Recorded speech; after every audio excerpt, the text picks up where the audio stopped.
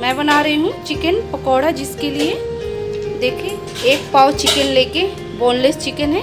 सिर्फ़ पानी डाल के इसे बॉईल कर लें और फिर हाथों से या फिर ग्राइंड करके इसे तोड़ लें।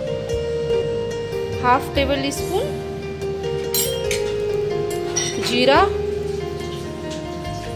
हाफ़ टेबल स्पून गरम मसाला वन टेबल स्पून लाल मिर्च पाउडर वन टेबल स्पून लहसुन अदरक पेस्ट दो मीडियम साइज़ के प्याज इसे मैं स्लाइस में कट कर ली हूँ। तीन मीडियम साइज़ के आलू इसे बॉईल कर लें। एक प्याला बेसन,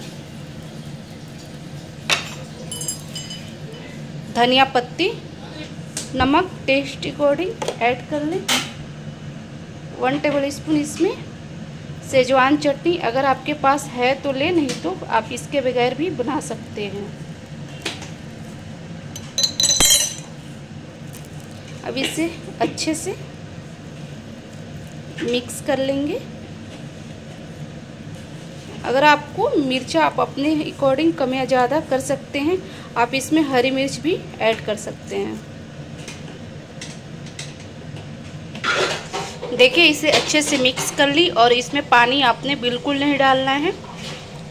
इसे बेसन और सब कुछ जो स्पाइसेस गए हैं, उसी के साथ इसे अच्छे से मिक्स कर लेना है। इधर ऑयल गरम हो रहा है। देखिए ऑयल गरम हो गया। अब इसे